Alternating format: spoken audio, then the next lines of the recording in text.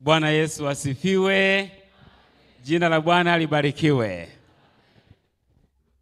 Jambo la kwanza nipende kumshukuru sana Mungu kwa ajili ya nafasi hii ya pekee ambayo tumeipata ya kuja kushiriki pamoja nanyi katika ibada ya leo.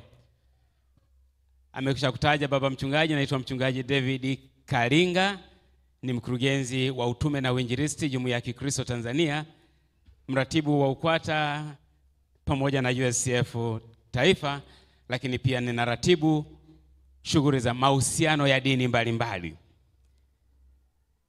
Jambo la pili, nipende kumshukuru Mungu sana kwa ajili ya baba mchungaji James Rubadanja pamoja na baraza lake na Wakristo kwa ujumla kutupa nafasi hii kushiriki pamoja nanyi katika ibada hii ya leo. Nipende kumshukuru kipekee yeye baba mchungaji Rubadanja kwa jinsi ambavyo analitunza na kuliongoza kanisa la Mungu. Nimefurahi sana kwa sababu baba mchungaji nimefurahi kwamba anaweza akaitendea haki liturujia yetu ya umoja. Unajua, yeye baba mchungaji anatoka kwenye makanisa ambayo hayafuati sana liturujia kama hizi, lakini nimeshangaa kuona amezifuatilia na yeye mpaka anaimba na antifoni, anazitaja na humu, jambo ambalo ndio pekee, maanake amekopa mazingira vizuri kabisa. Nakubaliana na Mungu akubariki sana baba mchungaji, amen, amen.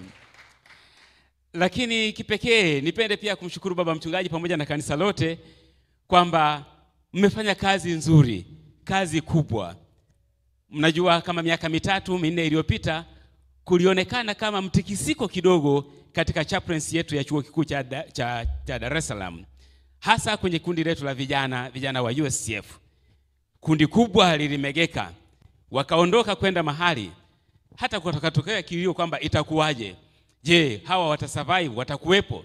Lakini ashukuriwe Mungu kuona kwamba kwa ushirikiano wa baba mchungaji pamoja na kanisa mmefanya kazi nzuri na hatimaye mmeliwezesha kundi la vijana limeendelea kupata nguvu na kuongezeka na kuongezeka. Mungu awabariki sana.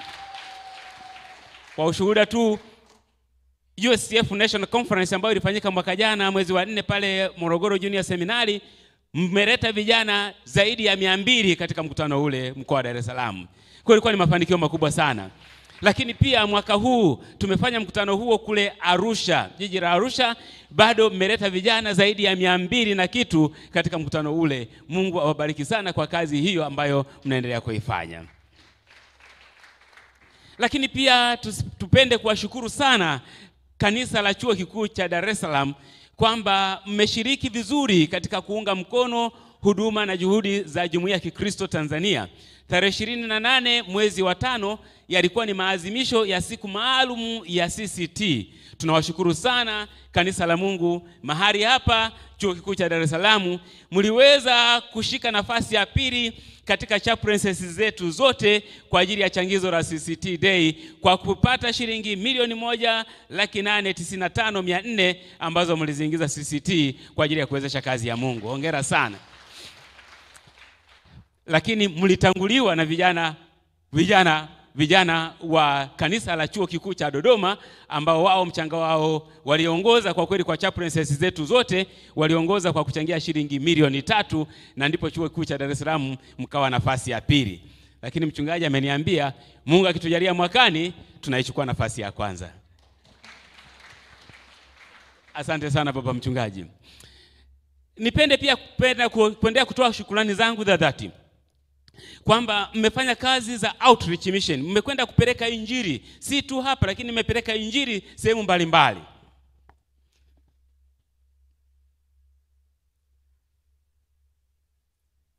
Mmepeleka injili kule mkoa wa Lindi, mmekwenda na Chingwea, mmefanya kazi. Baba mchungaji alikwenda na vijana mpaka huko, lakini pia mmetuma vijana wamekwenda Mang'ura, Ifakara kule Morogoro. Na bahati nzuri na mimi nilishiriki katika ule mkutano, angalau kuwaunga mkono na kuwa pamoja nao. Wamefanya kazi nzuri sana. Lakini vijana wa DUCE walikwenda hapa jiji eh, hapa, hapa mji wa Morogoro katika kijiji cha Chamwino Morogoro mjini, wakafanya kazi ya utume, kazi ya kumtangaza Kristo. Kwa hiyo tunawashukuru sana na kuwapongeza kwa kazi njema ambazo mnazifanya kuwajengea vijana uwezo katika kumhubiri na kumtangaza Kristo. Jina la Bwana libarikiwe, amen. Basi baada ya kusema haya, nipende kumshukuru Mungu sasa kwamba ametujalia kuwepo hapa ili tuweze kushiriki pamoja nanyi katika ibada hii, sasa kwa kushirikiana ujumbe wa neno la Mungu ambao umesomwa kwetu. Labda kwa, ku, kwa, ku, kwa, ku, kwa kufuatana kwa pamoja, naomba tu nirudie kifupi kutoka hiyo Injili kama alivyoiandika Yohana Mtakatifu sura ya sita mstari wa hamsini na moja mpaka ule wa hamsini na tisa. Injili kama alivyoiandika Yohana Mtakatifu sura ya sita mstari wa hamsini na moja hadi ule wa hamsini na tisa. Neno la Mungu linasomeka hivi: mimi ndimi chakula chenye uzima kilichoshuka kutoka mbinguni. Mtu akila chakula hiki ataishi milele, na chakula nitakachotoa mimi ni mwili wangu kwa ajili ya uzima wa ulimwengu. Basi Wayahudi walishindana wao kwa wao wakisema, awezaje mtu huyu kutupa sisi mwili wake ili tuule? Basi Yesu akawaambia, amini amini nawaambieni, msipoula mwili wake mwana wa Adamu na kuinywa damu yake, hamna uzima ndani yenu. Aulaye mwili wangu na kuinywa damu yangu anao uzima wa milele, nami nitamfufua siku ya mwisho. Kwa maana mwili wangu ni chakula cha kweli na damu yangu ni kinywaji cha kweli. Aulaye mwili wangu na kuinywa damu yangu hukaa ndani yangu, nami hukaa ndani yake, kama vile Baba aliye hai alivyonituma mimi, nami ni hai kwa Baba, kadhalika naye mwenye kunila atakuwa hai kwa mimi. Hiki ndicho chakula kishukacho kutoka mbinguni, si kama mababa walivyokula wakafa, bali akilaye chakula hicho ataishi milele. Maneno hayo aliyasema katika sinagogi alipokuwa akifundisha huko Kapernaum.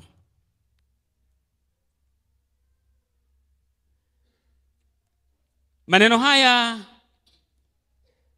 ili tuweze kuelewa, tungeweza kuirudia sura nzima ya kitabu cha Yohana sura ya sita, lakini kwa ajili ya muda nifanye jumuisho tu kwamba tunaanza wapi mpaka Yesu anasema mimi ni chakula. Tunaanza wapi? Yesu anasema mimi ndimi chakula chenye uzima. Tunaanzia wapi? Ilitokea wakati Bwana Yesu akiwahudumia makutano na kulihubiri neno la Mungu, walikuwepo watu zaidi ya elfu tano waliokusanyika kwa ajili ya kusikiliza Injili. Kwa kuwa walikuwa wamekaa muda mrefu, Yesu aliwahurumia kwamba watu hawa watahitaji kupata chakula, na ndipo akawauliza wanafunzi wake, tupate wapi chakula cha kuwalisha hawa watu? Na hata wanafunzi wakamshangaa Yesu, una wazimu wewe, utawezaje kuwalisha watu wote hawa elfu tano? Lakini baadaye mmoja akasema kwamba yupo hapa kijana ana mikate mitano na mwingine ana samaki wawili, lakini hata ha, hivyo vitu vita, vit, ni nini hata viweze kuwatosheleza hawa watu wote? Lakini alisema Yesu, vileteni vitu hivyo. Akaviombea, akavibariki, na baadaye akawaambia wanafunzi wagawe.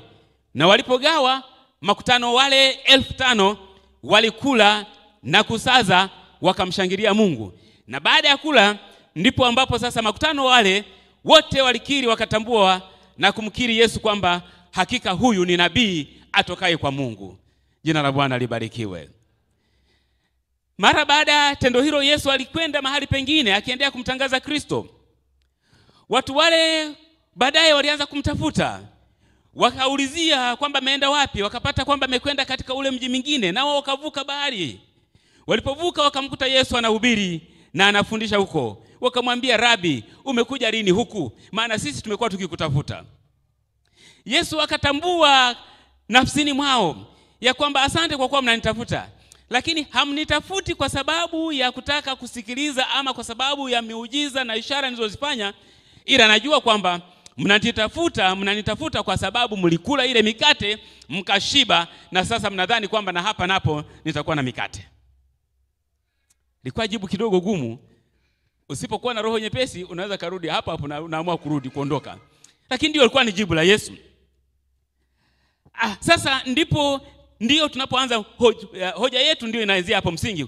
Ndipo Yesu akawaambia kwamba ninyi mlikuja kunitafuta na kufuata kwa sababu ya mikate mlioshiba, lakini mimi ninawaambia msikitendee kazi chakula chenye kuharibika, bali kitendeeni kazi chakula kidumucho hata milele, kishukacho kutoka juu mbinguni, kwa ajili ya kuupa ulimwengu uzima. Ah, basi wakafurahi kwamba kama kipo chakula ambacho kinaweza kikashuka kikatupa uzima, basi ni jambo la maana sana. Wakajibu wakasema, basi tunaomba utupe chakula hicho. Ndugu zangu wapendwa, asubuhi nilikuwa tunawaambia kwamba sijajua siri iliyopo kwenye chakula huwa ni siri gani, kwamba hawa ndugu zetu wamelilishwa mkate kule na wamekula na samaki. Baadaye Yesu ameondoka, kumbe wanafuata, baada ya kusikiliza neno, wameikumbuka ile mikate, wamekumbuka na wale samaki. Ukasema wakati fulani mkiwa kwenye mikusanyiko, chakula kinaweza kikaja, ukashangaa tu hapa hapa kunakuwa na mtaharuki usio wa kawaida. Kwa nini? Kwa sababu tu ya chakula, na chakula ambacho pengine tunakula hata nyumbani, lakini huwa kinatokea kinatokeza mtaharuku, mtafaruku usio wa kawaida. Wakati fulani ilitokea kuna mtu mmoja amepewa kadi ya harusi, amechangia fedha yake kwenye harusi, lakini amekwenda, walipokuwa nagawa chakula, anafika yeye, chakula kimekwisha, lakini ametoa na mchango wake. Yule bwana akachukia sana, akaichukua kadi yake pale pale, akaichana, akaikanyaga chini, akamwambia mke wake, twende nyumbani, hakuna sababu. Ameumizwa kwa sababu ya chakula, lakini chakula kile na yeye huwa anakula nyumbani ila tu kwa sababu ni chakula cha mkusanyiko ule, huwa sijui kinakuwa kinanoga namna gani, basi akapata shida sana sana. Niliona nipo kwa mtoto mimi nikihudhuria Sunday school, leo mmetangaza habari ya sikukuu ya Mikaeli na watoto.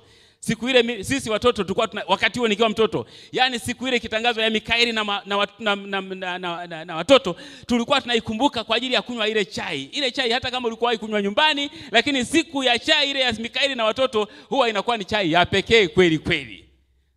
Sawa, tunamshukuru Mungu kwamba aliweka kama siri aina fulani hiyo inayoleta furaha, inayoleta bubujiko mnapoweza kukutana wote kwa pamoja. Lakini kumbe Bwana Yesu katika lengo la kuwalisha chakula kile alikuwa anabashiri juu ya chakula kingine anachokitazamia, anachosema ni chakula kinachoshuka kutoka mbinguni, yaani mwili wake Yesu Kristo mwenyewe.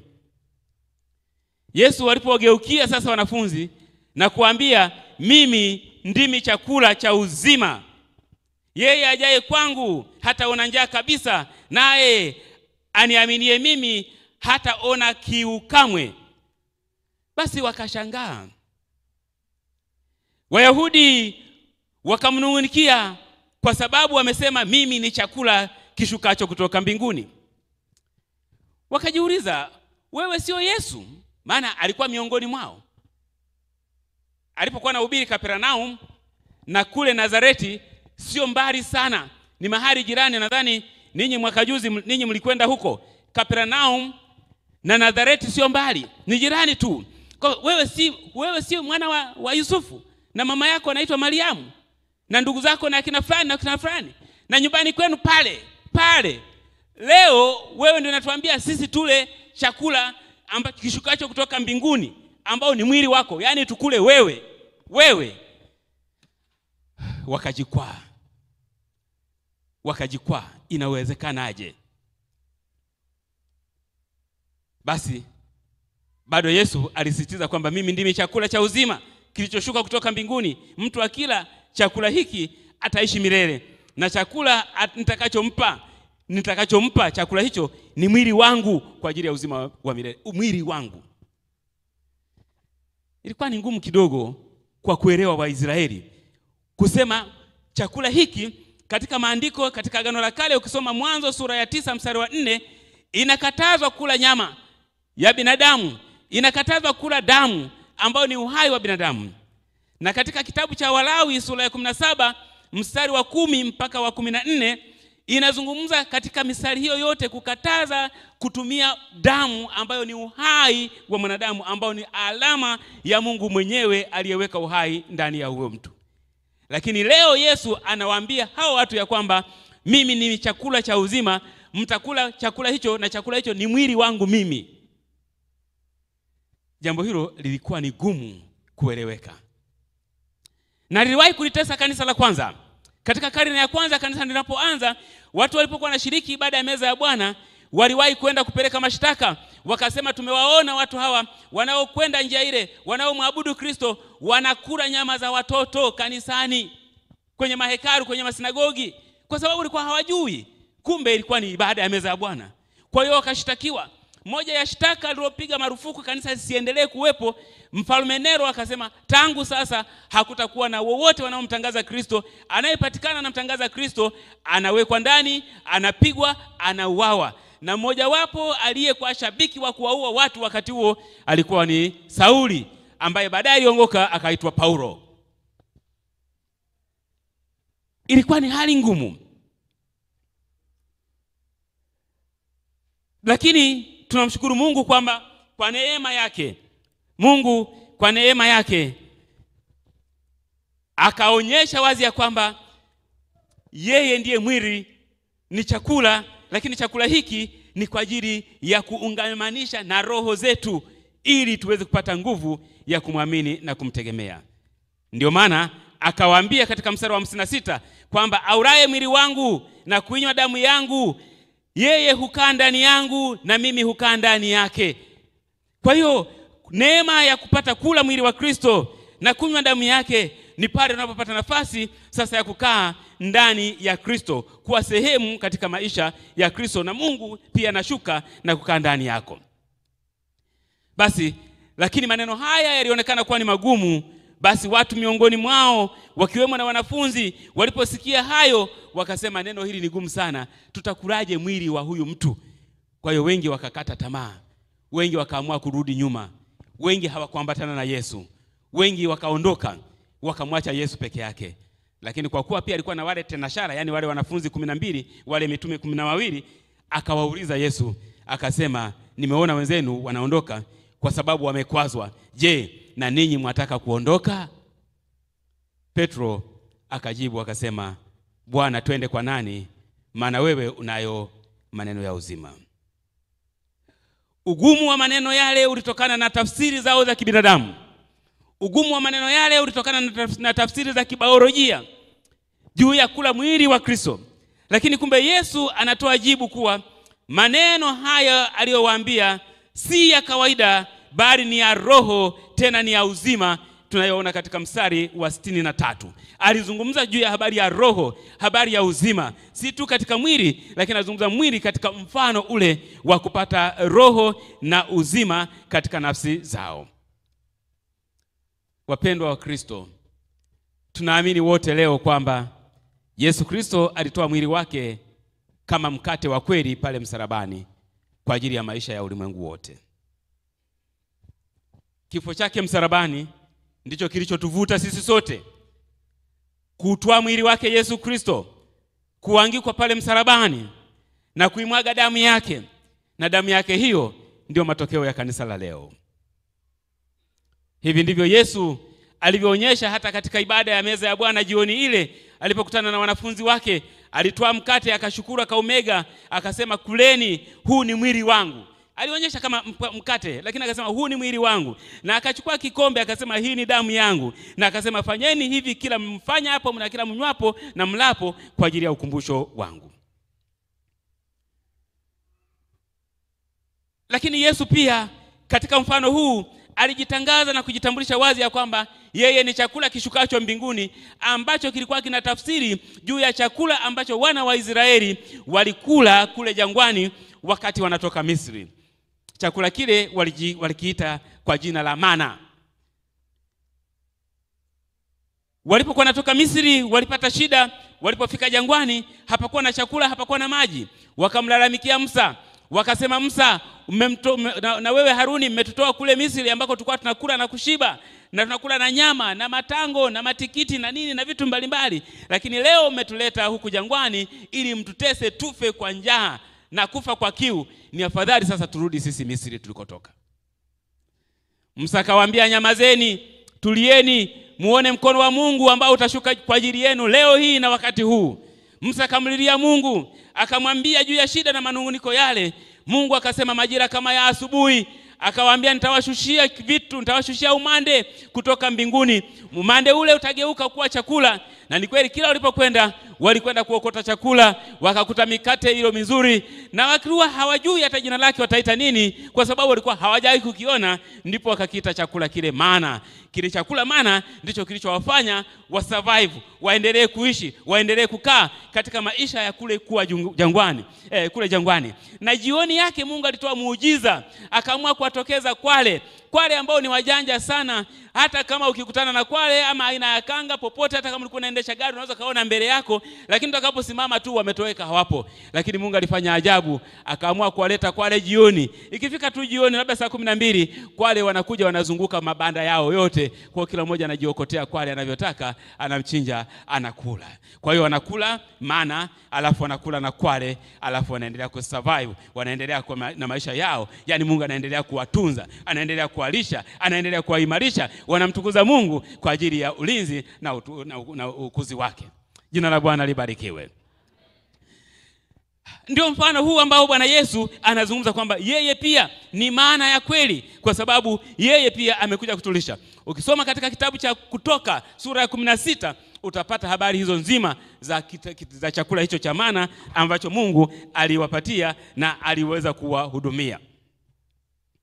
Basi ndugu zangu, kwa kumwamini Bwana wetu Yesu Kristo, kwa kumtegemea yeye Yesu Kristo ambaye sasa ni mana, ambaye sasa ni chakula cha uzima wetu, basi huko ndiko kula mwili wake Kristo, tukimwamini Yesu Kristo, tukimtegemea Yesu Kristo katika maisha yetu yote. Kula mwili wa Kristo ni kufanya mapenzi yake, kumtegemea katika maisha yako yote. Kula mwili wa Kristo ni kuendelea kukaa ndani yake, kuishi daima ndani yake, kuwa kama vile tawi ndani ya mzabibu, ambapo Yesu Kristo katika Yohana 15 mstari ule wa nne na watano alisema, akaaye ndani yangu na mimi ndani yake, huyo huzaa sana, lakini ninyi pasipo mimi hamwezi kufanya jambo lolote. Kwa ni lazima tuwe tumekaa ndani ya mzabibu, tuwe tumekaa ndani ya shina kama matawi. Sisi Yesu Kristo ameonekana kwamba ndiye chakula cha uzima, anaweza kutuwezesha kuishi na kuendelea kuwa hai katika maisha ya Ukristo wetu. Alitoa mfano ule ule katika ibada ya meza ya Bwana.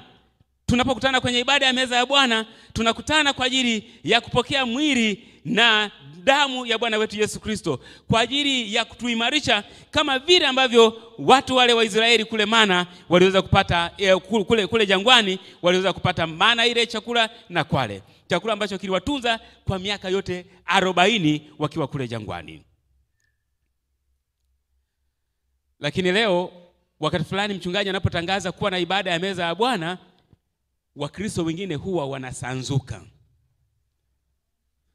wanaondoka mapema. Ukiwauliza kwa nini, wanakuwa na sababu za kwao, lakini mara nyingi hawaelezi, isipokuwa tu anaweza kusema kwamba kwa kweli sikujiandaa. Sasa ukujiandaa nini? Unakataa neema inayoshuka kwa ajili yako unakataa mwili uliotangazwa kwa ajili yako, ili wewe uweze kufanywa uzima, uweze kupata uzima, ili wewe uweze kukaa ndani ya Mungu na Mungu apate kukaa ndani yako. Lakini leo unasepa, unaondoka, unakwenda pengineko, utakwenda kupata nini? Ni kweli kulikuwa na mafundisho tangu mwanzo ya kwamba unapokwenda kwenye ibada ya meza ya Bwana, na hata Paulo alizungumza, alizungumza, alisema ni vizuri kujihoji kwanza. Alizungumza ni vizuri, ni vizuri kujihoji kwanza. Ndiyo, kujihoji ni kwa ajili ya kwamba unapojihoji unakwenda mbele zake na unafanya toba.